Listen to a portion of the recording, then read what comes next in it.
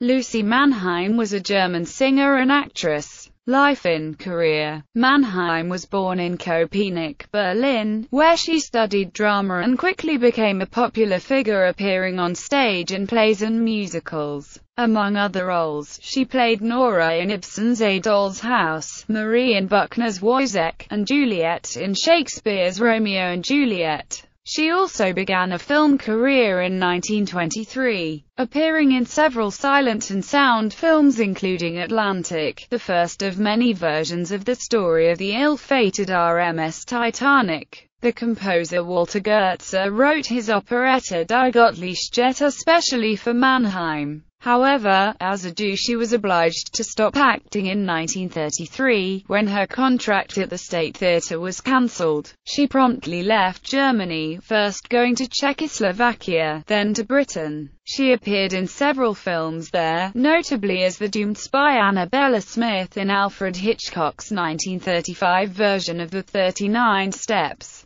During the Second World War, she appeared in several films as well as broadcasting propaganda to Germany, including performing an anti-Hitler version of Lili Marleen, in 1943. In 1941, she married the actor Marius Goring, 13 years her junior. She returned to Germany in 1948 and resumed her career as an actress on stage and in film. In 1955 she joined the cast of the British television series The Adventures of the Scarlet Pimpernel as Countess La Valliere. She made her final English-language film appearance in the 1965 film Bunny Lake is Missing. Her last appearance was in a 1970 TV film. She died in Braunlage, Lower Saxony. Filmography. The Doll Maker of Kiang-Ning, The Stone Rider, The Treasure, The Expulsion, Atlantic, Danton, The 39 Steps, East Meets West,